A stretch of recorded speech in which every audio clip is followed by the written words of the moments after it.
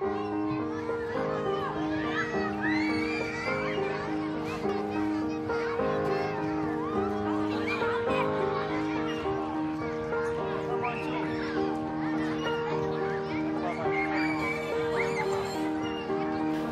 and welcome to St Lawrence Church here in Towcester. My name is Reverend Paula and I'm the rector here for the Tove Benefice.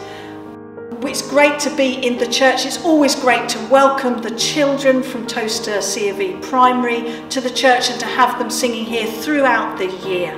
As well as being the rector here, I'm also one of the school's governors, along with a couple of other members from the church community.